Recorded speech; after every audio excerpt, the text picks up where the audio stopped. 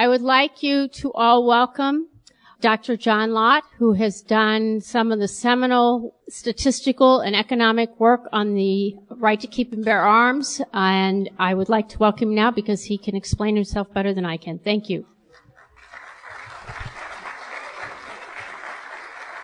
I was kind of torn today about what to talk about. You know, there's been so much misrepresentation about the stand your ground law over the last few months. But I think it's pretty clear to everybody by now that the stand your ground law wasn't, or at least the aspect of self-defense act regarding stand your ground wasn't really relevant to the Zimmerman case. So I'm going to stay away from that. Instead, I'm going to talk about the spate of multiple victim public shootings that we've been seeing. And I guess I want to start with a question, and that is, why did the killer uh, in the Cinemark Century 16 Theater in Aurora, Colorado, pick that theater to go and engage as an attack on July 20th. I don't think people realize this, but out of the seven movie theaters that were playing the Batman movie within 20 minutes of the killer's apartment, there was only one Cinemark movie theater that had posted signs banning permanent concealed handguns in the movie theater. Uh, it's kind of a frustrating story for me in terms of finding this out. I finally, after many years pestering Fox and a couple other places, gotten Ken LaCorte to agree to run a story if I could nail down what was there. But it took me about two weeks to finally get this for one movie theater. It was very difficult to contact. But in Colorado, private property owners and businesses are allowed to decide whether to post signs for whether or not people can carry concealed handguns there. You know, just like they can determine whether people get service if they wear shoes or shirts or not. And the vast majority of movie theaters and restaurants and businesses allow customers to be able to go and carry permanent concealed handguns. But there are a few that post, just like you see in most states. It's pretty much the pattern. Uh, a number of states, not all right to carry states, allow posting. And uh, you'll initially see a lot of places that post for the first couple years, but then after a while, when they realize that a lot of the fears that they might have had aren't true, then you begin to see the postings being removed. And so using MapQuest and uh, Movies.com, as well as trying vainly to get some groups in Colorado like Rocky Mountain Gun Owners Association and others to try to help out without success, I was finally able to pin down how the different movie theaters, whether they're posted or not. And if you look at within 20 minute drive, according to uh, MapQuest, of the killer's apartment at 1690 Paris Street in Aurora. You find that the Cinemark movie theater was four miles away, was about an eight minute ride. There was another movie theater, the Aurora Plaza, which was only 1.2 miles away, three minute drive away. And then there was the Harkins Northfield 18, it was about five miles away, a 10 minute drive. And if you call up their hotline, they bill themselves as home of Colorado's largest auditorium. And in fact, that was the auditorium that was being used that night for the Batman movie. And so you would think that would be particularly attractive. You have the largest audience there. If you want to go and try to kill as many people as possible, you would think that would also be an attractive target. There are four other movie theaters within 20 minutes. Three were 10 miles away. Uh, another one was 13 miles away. Now, if you go and look at media reports after the attack, there's, there's a number of media reports that do mention that the attack occurred, quote, near the killer's apartment.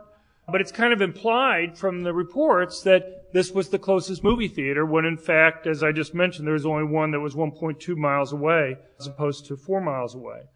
And no discussion there, no analysis of what the other movie theaters were like or whether one was even closer or not just simply the statement that it was near his apartment.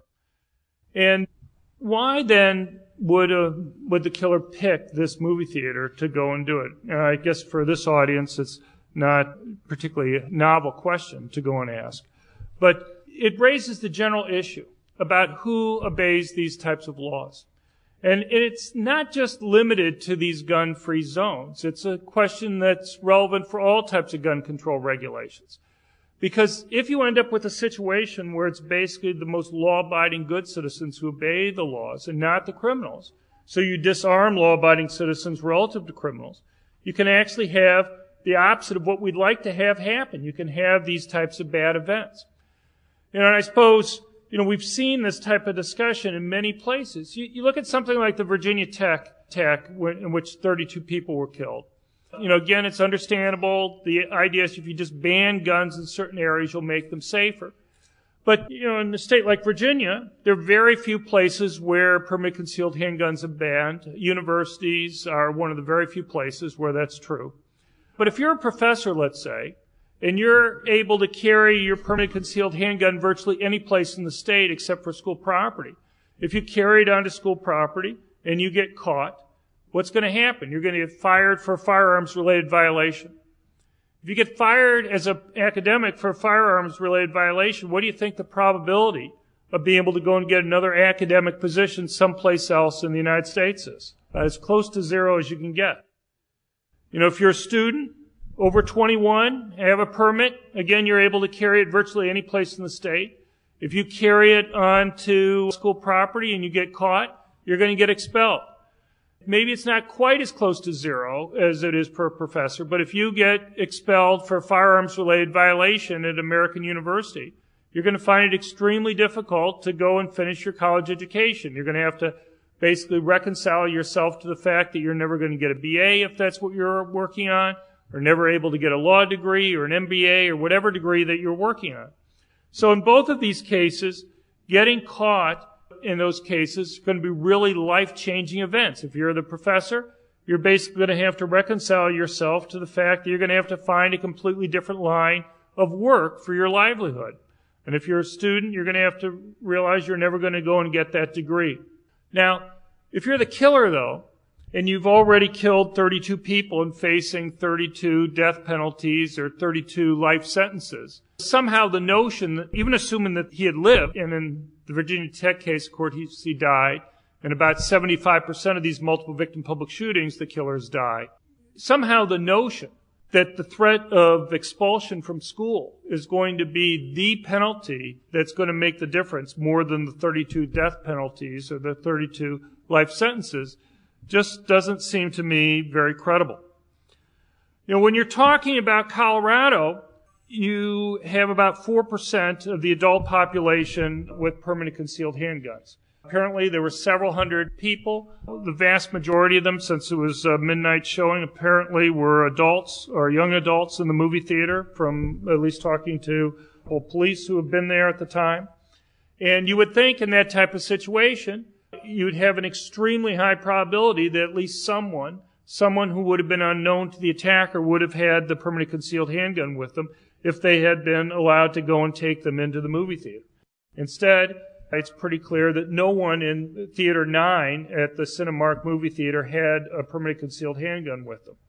Now, there's been some aftermath, even though none of the other movie theaters within 20 minute drive had posting banning concealed handguns at the time. One of the movie theaters, the Harkin 18 Northfield that I mentioned with the largest auditorium, has since changed its policy, so it's now started to post. But it's not just the Colorado case. You know, the Sikh temple also was a gun-free zone. You go through different mall shootings or other places that have been there. The West Roads Mall in Salt Lake or the mall shooting in Omaha, Nebraska a few years ago. And again, you see the same type of pattern. You know, one mall out of seven posts in Omaha. That's the one where the killer went to. But it's even broader than that.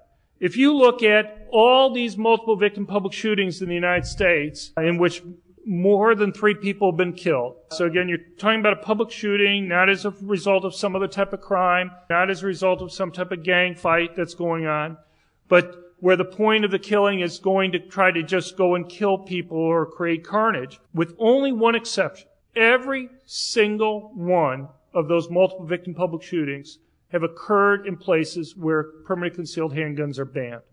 And you'd think at some point, I was hoping this last time would be one of them, you'd actually see news stories that mention it. You go through and you look at the news coverage in the Colorado case. They have very quickly, they get details about whether the guns were purchased legally or not. They get information on the types of guns, often bogus discussions about assault weapons with little or no understanding about what an assault weapon is in that case. You know, it's almost kind of expected that there's going to be some type of discussion about that in these cases. One thing that came up a lot after the Aurora shooting was comparisons to Columbine. And one thing I, that I don't think most people realize is that the killers in the Columbine case were strongly opposed to uh, permit concealed handguns. In fact, the New York Times had, shortly after the attack, I'll give them credit, though I don't think they recognized the significance of this, had a front page discussion about how Dylan Klebold had shared with his dad their strong opposition to the concealed handgun law that was being debated in the Colorado legislature at that time. And other places I've seen discussions about how Klebold wrote to his state legislators. And a couple things just to note. One, the Colorado concealed handgun law that was being considered at that time would have allowed permanent concealed handguns to be carried onto school property. And the other thing that I think is quite striking is that the Colorado attack at Columbine occurred on the very same day that the Colorado State House was scheduled for final passage of the concealed handgun law there in the state. So Michael Moore brings bogus comparisons, claims about bowling, you know, to get the name of his movie. But the very fact that the timing coincided with the pass, the attempt to pass the concealed handgun law had already been passed in the state senate, and the governor said he was going to sign it, uh, is something that uh, doesn't seem to get talked about in the news. But it isn't just in the United States, this pattern.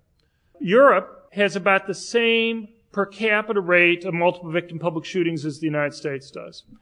I often get calls from people in uh, the European media after we have multiple victim public shootings here in the United States, where I'm asked things like, what is it about you Americans in, with your water supply or something? Is there something in there that causes you to go and engage in these multiple victim public shootings? And I've taken over time, particularly after the Virginia Tech attack, to start asking the reporters questions.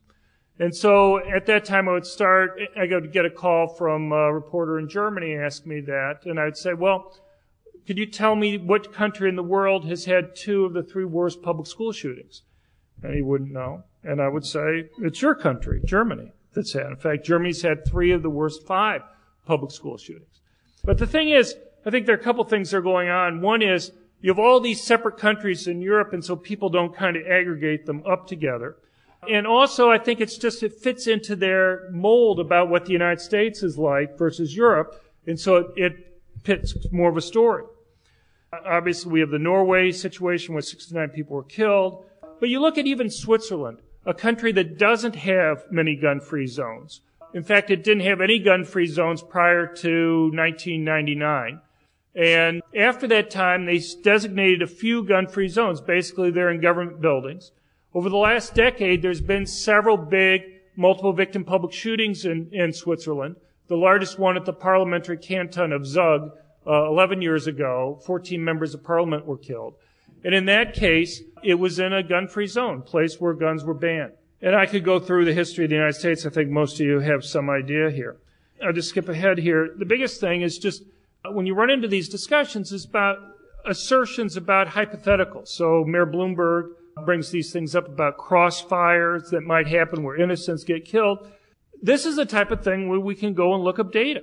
I can't find a multiple victim public shooting that's been stopped in the United States by someone with a permit concealed handgun where an innocent bystander has been shot by the permit holder. You know, I know people will go and bring up Empire State Building shooting in which nine bystanders were shot by the two police officers here recently, shot by them. But when you look at permit holders, and maybe it's part because they don't have the legal protections that police officers do, they're much more reticent to fire their guns. And in fact, it's interesting how many of these multiple victim public shootings get stopped without people firing their guns to begin with.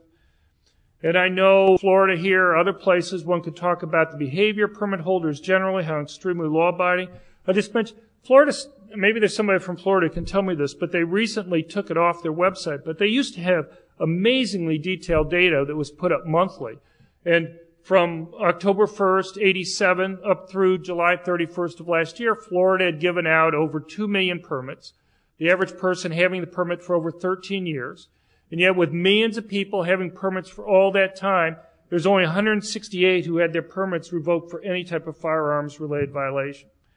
Now I could go through my work. I could go through a story that just came up this last week in Mother Jones, supposedly some research that they had done. But I think the bottom line, and hopefully we can get the media to begin to cover this type of thing, is that there's one pattern that seems to be consistent across these cases more than anything else. And that they keep on occurring in these gun-free zones. And that these zones, rather than making victims safer, unintentionally serve as magnets for these attacks to occur. If these were random, then they would be occurring mainly in places where guns are not banned. But that's not where they do. Virtually all but one occurs in places in these tiny areas in these right to carry states where concealed handguns are banned. I appreciate your time. Thank you very much.